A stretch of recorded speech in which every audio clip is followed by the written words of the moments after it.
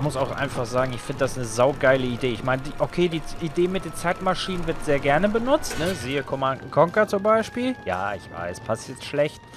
Aber in dem Fall ja, schon eher. Weil das ist ja quasi eine mechanische Zeitreise. Das, was wir hier haben, ist ja eher eine magische Zeitreise gewesen. Also das ist auch wiederum was völlig anderes. Eine magische Zeitreise als eine mechanische. Also eine technologisierte Zeitreise.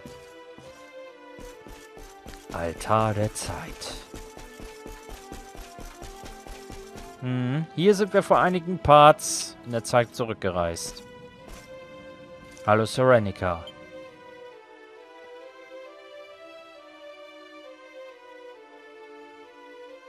Are you Serenica? Serenica? This is not a name I know. State your purpose here. The Dark One has returned, and, well, we need you to give us the power to save the world. Save the world. Do you remember this, Serenica? This was your flute.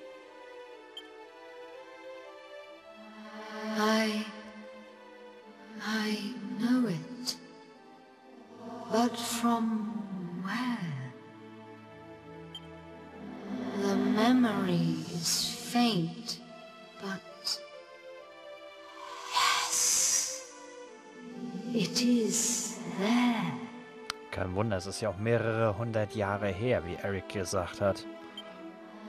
And yet, the flute I remember was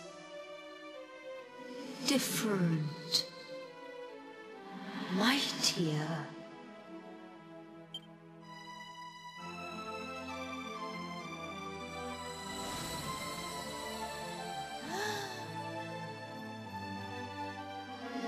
Can play but one melody, but it is a great one, a sacred one, a song of awakening, a song handed down through the years.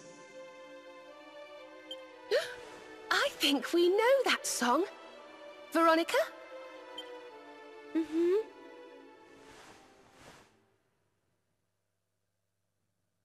Rejoice! Rejoice! The time is come!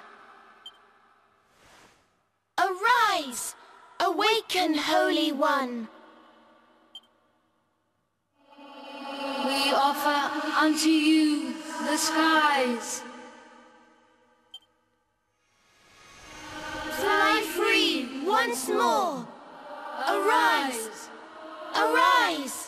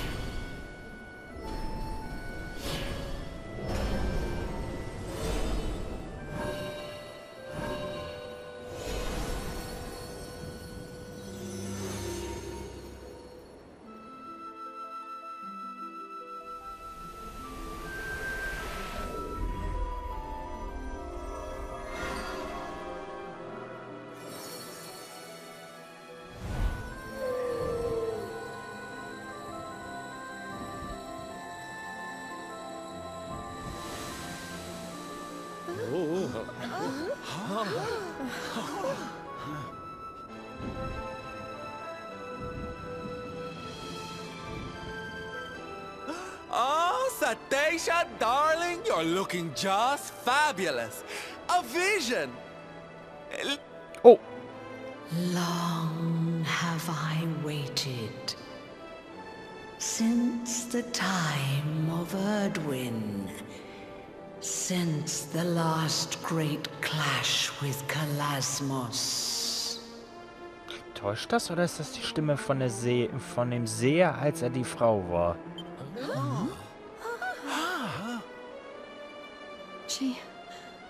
she spoke to us. Shh. I think she's trying to tell us something.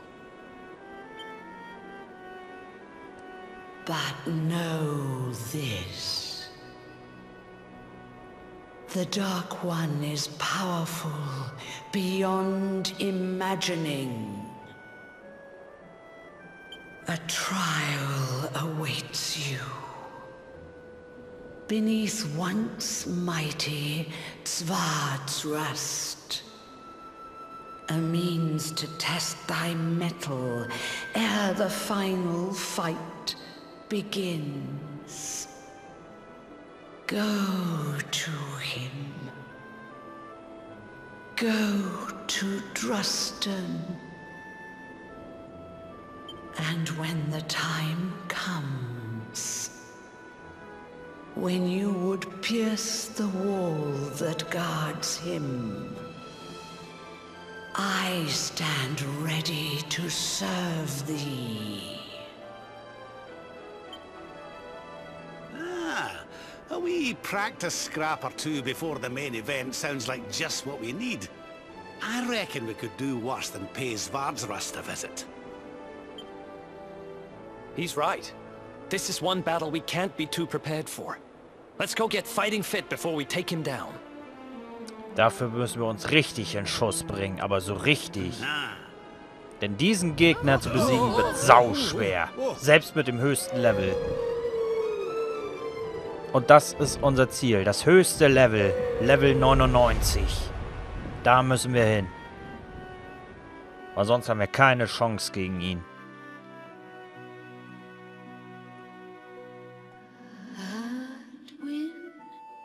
Ja, Serenica. Erdwin.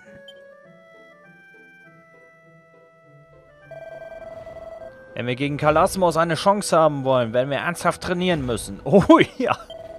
Ich würde sagen, wir gehen nach Creature-Welt und machen uns darüber schlau, wo, worum es bei dieser Prüfung geht, die Ketos erwähnt hat. Am schnellsten kommen wir dorthin, wenn wir zum königlichen Campen teleportieren. Herrscher der Lüfte, dafür, dass du Ketos wahre Macht erschlossen hast und zum Himmel hinaufgeritten bist, um Kalasmos endlich zum Kampf zu stellen. Nee, noch stellen wir ihn nicht zum Kampf. Denn dafür sind wir noch viel zu schwach. Viel zu schwach. Wir gehen jetzt erstmal nach Gondolia, Freunde der Sonne. Trustin oder Tristan ist noch sehr weit entfernt von uns. Sehr weit entfernt. Und das würde ich wirklich gerne möglichst als letztes machen, bevor wir wirklich gegen Kalasmos antreten.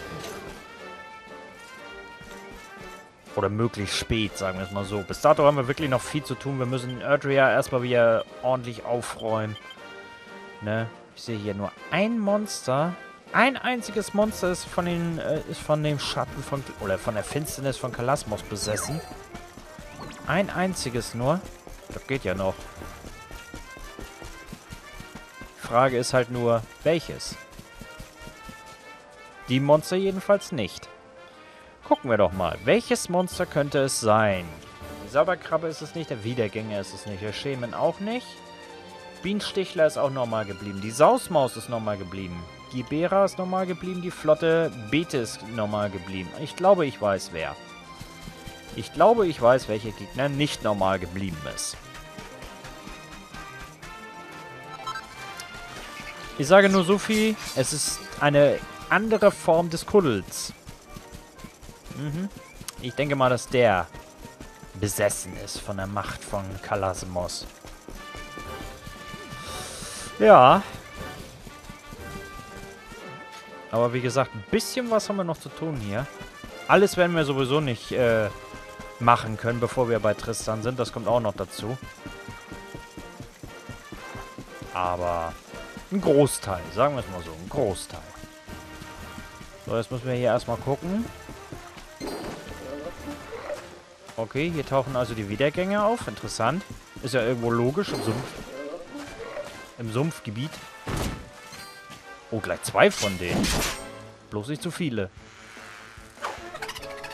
Sind eh schwach. Davon mal ab.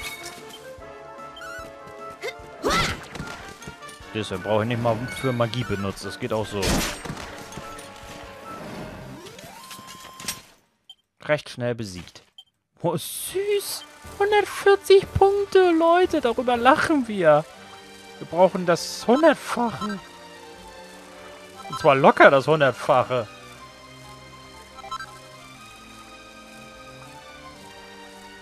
Du heiliger Strohsack. Ja. Viel zu tun wir noch haben. Mhm.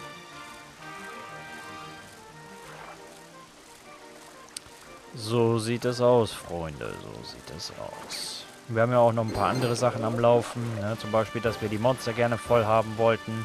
Also ich zumindest. Ich weiß nicht, wie es euch geht. Aber ich finde, das ist eine schöne extra Herausforderung. Die Monster voll zu kriegen. Also die Monsterliste. Davon mal ab, in der S-Version sind die Monster sowieso... Also es gibt sowieso noch mehr Monster. Davon mal ganz ab. Ich glaube, da gibt es um die 700. Also da gibt es ein paar mehr. Doch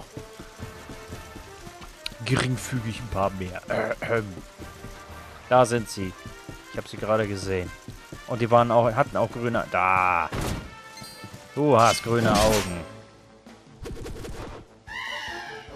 Sind zu perplex, um sich zu rühren. Die Muddel der Finsternis, genau. So war das. Rosa Orkan. Jo. Did I do all right? Damit haben wir die. Perfekt. Mehr wollte ich gar nicht. Nächstes Ziel, Gondolia. Beziehungsweise, nein, nicht Gondolia. Heliodor. Warum Heliodor? Weil ich die Kanalisation vergessen habe letztes Mal.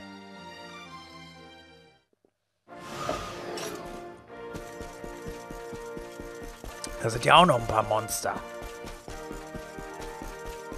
Bevor wir da aber hingehen, es wurde ja gesagt, es soll hier einen Folianten von Tristan geben.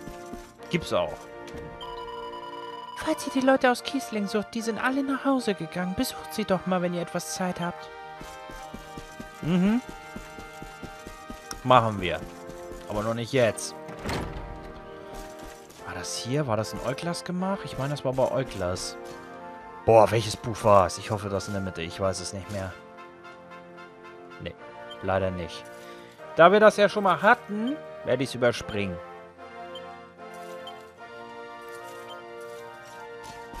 Wir hatten das nämlich im Laufe des Let's Play schon mal gehabt, das Buch. Deswegen überspringe ich das. Ah, Lehren Tristans, Geheimnisse des Herzens. Das werde ich laufen lassen, langsam, weil das kennen wir noch gar nicht. Wenn ihr es gerne lesen möchtet, liebe Freunde da draußen, liebe Lesinteressierte, könnt ihr natürlich gerne die Pausentaste drücken auf YouTube und könnt euch das dann in aller Seelenruhe durchlesen. Ich werde es nicht vorlesen. Da bin ich dann doch ein bisschen lesefaul. Ich weiß, Schweinerei. Aber das darf ich mir doch auch mal gönnen. Mindestens einmal. Ich lese schon in die Kommentare. Nein! Abgelehnt. Nein, alles gut.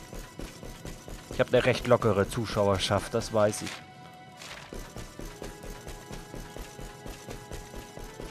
So, die Kanalisation. Wir hatten da nämlich zwei von fünf Monstern.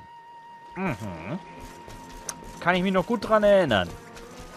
Welche Monster waren es eigentlich? Ich weiß es gar nicht mehr. Schwarzer Drache der Finsternis, Miesrabe der Finsternis. Sogar Monster der Finsternis, die wir schon besiegt haben. Ja, geil. Ah ja. Den kennen wir doch. Fauler Zauberer der Finsternis.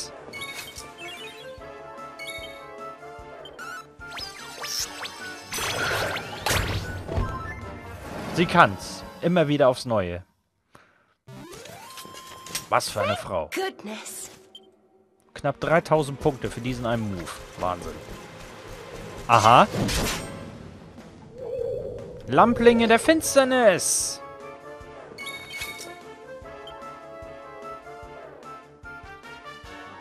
Machen wir lieber den üblichen Schwärze-Klon. Irgendwie haben wir davon mehr als von Veronicas Technik. Weiß ich, es ist irgendwie so, hm. Weiß ich nicht. Veronica wins again. Es ist irgendwie einfach nur Frostfontäne, nur dass Veronica dabei ist. Ist weiß ich nicht. Irgendwie äh, hätte. Keine Ahnung. Hätte man ein bisschen mehr draus machen können aus der, aus dem, aus der Koop-Fähigkeit, wenn ich ehrlich bin. Da hätte man wirklich noch einen Ticken mehr rausholen können. Finde ich, ist meine bescheidene Meinung. Ja, Heilkraut, das ist sehr hilfreich für uns. Nicht? Bei so vielen Punkten, die wir mittlerweile haben, würde uns das nicht mehr viel bringen. Den lassen wir mal in Ruhe. Die Krähe fliegt hier auch noch rum. Um die Türen brauchen wir uns gar nicht mehr kümmern, weil die haben wir eh alle schon aufgeschlossen und geplündert wie nichts Gutes. Aber was fehlt uns hier noch?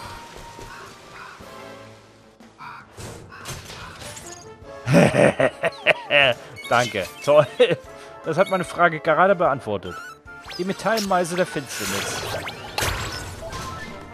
Jetzt fehlt sie uns nicht mehr. Danke, Jade. Did I do all right? Oh, Tierknochen. Okay.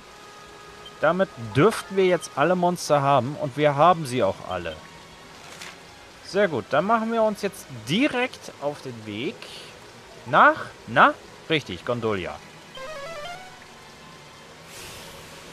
Absolut korrekt. Von Gondolia dann aus per Schiff in Richtung dieser Insel. Hä? Hä? Kampfmusik? Hier? Was? Hä? Was ist denn jetzt los?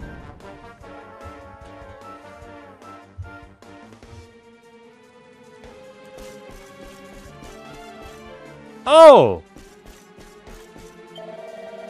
Mir gefällt das nicht. Ganz und gar nicht. Erst macht diese Schattensonne die Monster noch wilder als sonst und jetzt haben sie auch noch Gondolia erobert. Die Bewohner haben zum Glück gerade noch rechtzeitig Reis ausnehmen können, aber jetzt ist alles voller Monster. Die dreisten Lumpen spazieren rum, als ob sie da zu Hause wären.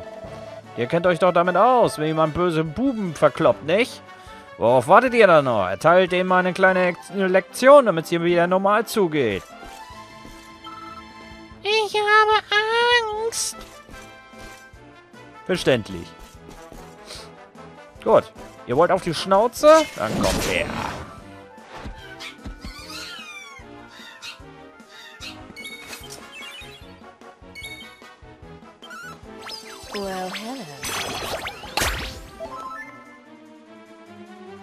Das war ein Sch das gab ein Schmatzer des Todes und die leben trotzdem noch. Und ich bin vergiftet. Dankeschön. Vielen Dank. Alter, was? Okay, diese bisschen stärker. Ähm. Ja, die sind wirklich... Au. Die sind wirklich ein bisschen stärker. Eieieiei, die halten ja einiges aus. Erst das Femme Fatale überlebt, das Kavum überlebt, Hackschrauber überlebt. Die haben was auf dem Kasten. Äh, Serena, Entgiftung bitte. Danke. Keine MP verbraucht. Oh, ich finde diesen... Der, also der Auerlutscher ist echt Gold wert. Ehrlich. Ohne Scheiß. Auch wenn der Name noch so lächerlich ist, aber das ist echt Gold wert.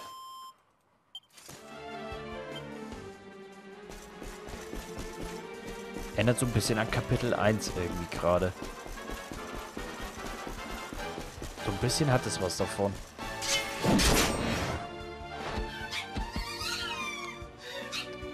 Käppchen der Finsternis, ja. Und Rosa Orkan. Oh.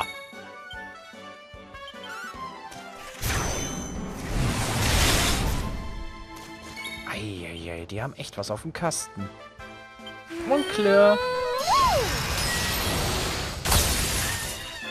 Okay, einen hat's umgehauen. Serena, kümmere dich mal bitte um deine Schwester. Die sieht ein bisschen mitgenommen aus. Danke. Ja, mitten ins Auge. Goodness. Frauenpower bei Lars hier. Wisst ihr Bescheid? Habe ich gerade Rüstung gehört? Okay, was auch immer da rumwalkt. Es hat irgendwas mit Rüstung zu tun. So, jetzt kommen wir auch endlich mal hier hin. Erstmal looten. Lars findet eine Mini-Medaille. Geil. Hatten wir lange nicht mehr. Und schön Spawn. Schön Spawn. Schön Spawn. Sehr schön. Was haben wir hier? Ein Achat der Evolution. Und hier war auch noch was. 50.000 Goldmünzen. Geil. Ich glaube, ich werde nachher nochmal, wenn wir hier fertig sind, also wenn die Stadt befreit ist, ich glaube, dann werden wir tatsächlich mal äh, ein bisschen was in die Bank einzahlen und zwar und sämtliche Trophäen einfach mal abgreifen, die es gibt. Dann haben wir das nämlich auch schon mal. So, was haben wir denn hier? Ich kenne wir doch. Alpha Pirscher. Genau, den haben wir nämlich schon mal platt gemacht. In Onzen. Der eine oder andere wird sich sicherlich noch erinnern.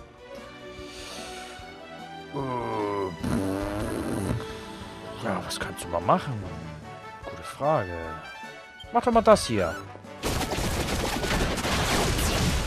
Was für ein Tritt. 600... 693 Schaden. Was?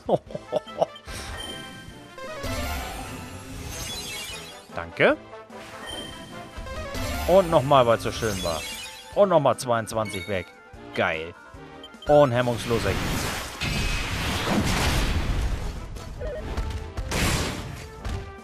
Aua. Der tritt mich einfach.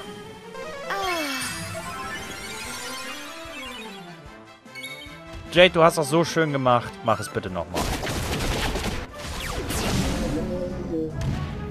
Umwerfend. Einfach nur umwerfend. Wahnsinn. Was für eine Frau.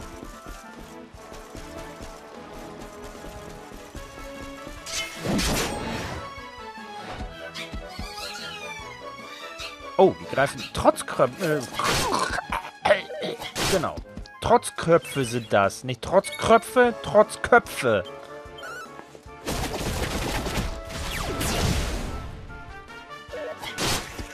Au. Au. Und einmal clear. Schön man die Schattensonne im Hintergrund sehen kann. Und nochmal, jawohl. Und rauf da. Und dann nochmal Hackschrauber hinterher. Will jemand einen gehackten Trotzkopf?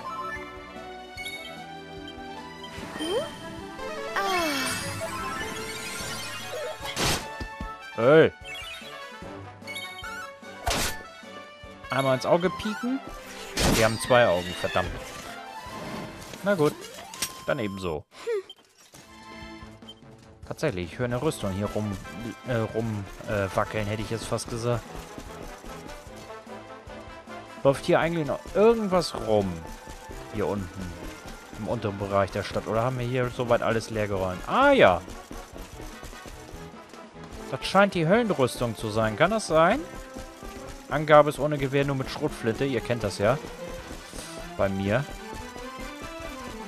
Guten Tag. Todesrüstung.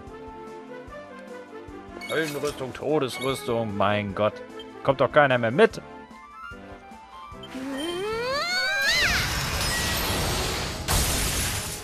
Irgendwas mit Rüstung auf jeden Fall. So. Können wir uns darauf einigen? Bitte? 500 ab. Ihr müsst doch danach so derart die Füße wehtun, mal ganz ehrlich. Autsch. Nicht nett. Den tut jedenfalls nichts mehr weh. Der ist tot. Genau. Sehe ich genauso. Ach, guck mal, hier ist noch so einer. Hier geblieben. Du haust nicht ab.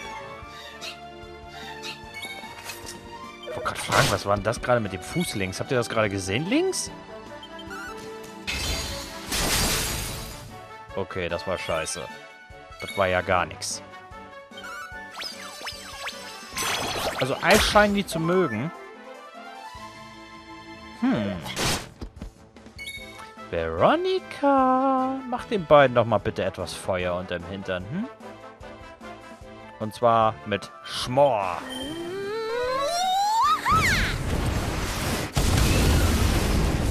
Das mögen sie wiederum nicht. Das habe ich mir gedacht. Es sind Wesen des Eises. Alles klar.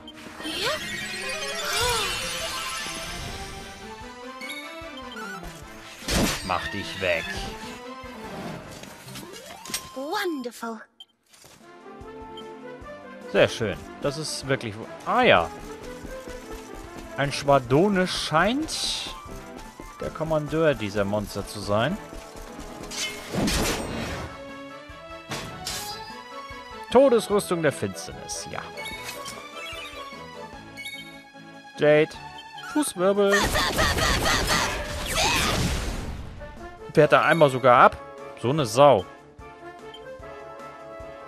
Einmal Magieentzug. Oh, 20 Punkte. Und hemmungsloser Hieb. Ich dachte, er wehrt jetzt ab. Das wäre es jetzt gewesen, ehrlich. Äh, und Braus. Ja, 219, ja. Okay, er will unsere Abwehr schwächen. Aber es hilft ihm nicht viel. Did I do all right? Tja, ja. Ich würde mal sagen, die Monster werden langsam schwächer hier. Hier noch irgendwas rum? Ja, da. Gut versteckt. Kleine Drecksau versteckt er sich da hinter dem Fass. Die sehen mich nicht, die sehen mich nicht, hat er sich wahrscheinlich noch gedacht. Ja, ja, nix da. Ich hab dich genau gesehen, Freundchen.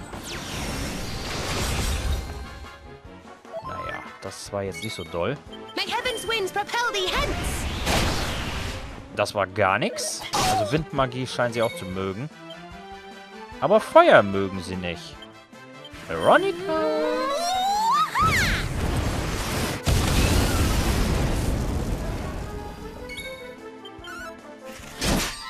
Feuer mögen sie ganz und gar nicht. Easy peasy. Für unsere Kleine doch ideal. Naja, große eigentlich, aber naja gut. Fred, alter Junge. Der lebt auch noch. Mensch. Das Schiff haben wir im dritten Kapitel bisher noch gar nicht genutzt. Werden wir aber ändern. Heute ändern wir das. Jade, weil du es so schön kannst.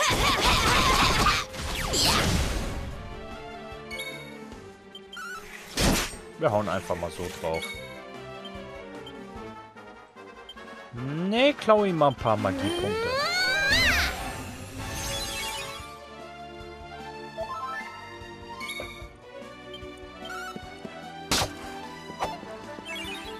Zweite Treffer sitzt irgendwie nie. Oder fast nie. Aua. Ich habe einfach mal gerade Lust drauf. Habe nämlich noch gar nicht eingesetzt.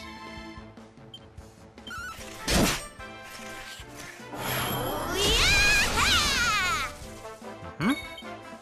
Einmal Magieklau nur.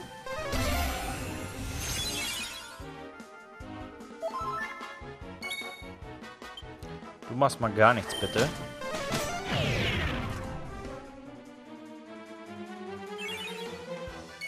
Jade. Fußwirbel. Schade, sie macht keine Geräusche dazu. Schade. Ich dachte, sie würde Geräusche dazu machen. Na gut, dann nicht. Bodo erreicht Stufe 65. Irgendwie hängt der Ton heute ein bisschen nach. Also bei mir im Spiel. Ich weiß nicht, wie es bei euch ist. Ich hoffe jedenfalls, dass es bei euch nicht der Fall ist. Falls doch, tut es mir leid. Immer noch nicht genug Punkte. Mein Gott, wie viele Punkte braucht das denn? Ich habe es gerade gesehen, 36. Alles gut. So, das dürfte dann der letzte sein. Der Kollege hier. Ja, genau dich meine ich, Freundchen. Ein Chardonis. Wen könnte das angelehnt sein? Ich habe keine Ahnung. Adonis wahrscheinlich.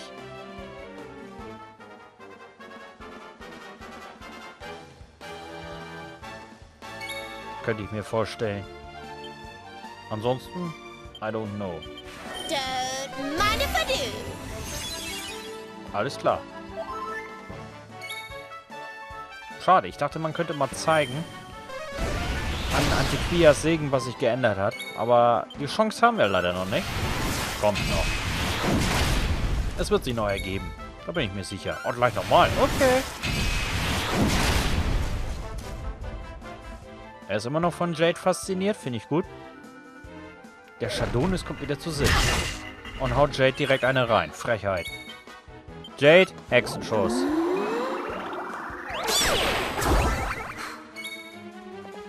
Man sich mal geben, ey. 300 Punkte zieht sie damit einfach mal ab.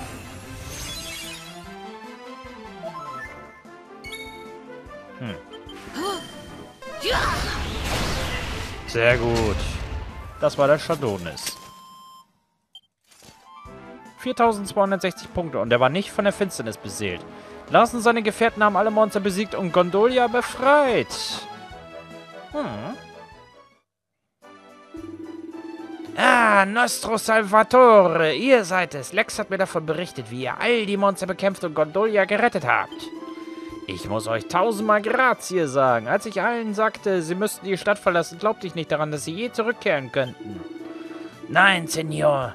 Ich kann nicht in Worte fassen, wie dankbar wir euch sind. Stattdessen möchte ich, dass ihr dies an euch nehmt, per favor. Es ist nicht viel, aber es kommt von Herzen. Direttamente dal Cor. Schieß mich tot. Ein Gewitterschwert. Uh. Ah, fast hätte ich es vergessen. Lex hat mich gebeten, euch auszurichten, dass er mit euch sprechen möchte. Ich glaube, er hat euch etwas Wichtiges zu sagen. Ja, wie ihm auch. Wahrscheinlich grazie mille, aber wer weiß. Ihr werdet es selbst herausfinden müssen.